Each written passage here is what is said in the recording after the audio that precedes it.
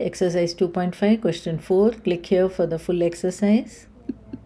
Find the 19th term of the ap minus 11 comma minus 15 comma minus 19 dot dot dot.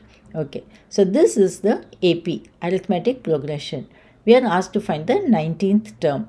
First let us write down the general formula for nth term.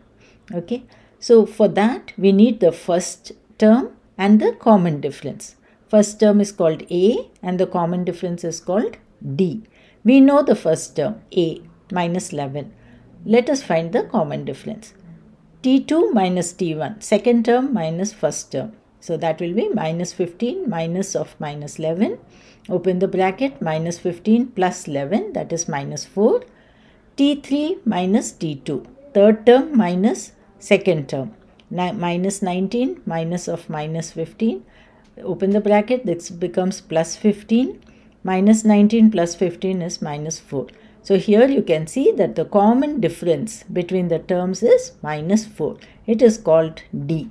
The general formula tn that is the nth term is a plus n minus 1 d. So here substitute minus 11 plus n minus 1 into d which we found minus 4 okay.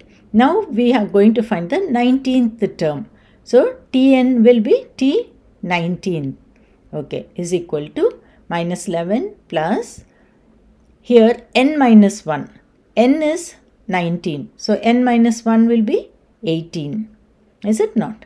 Okay we are putting n is equal to 19 in this formula.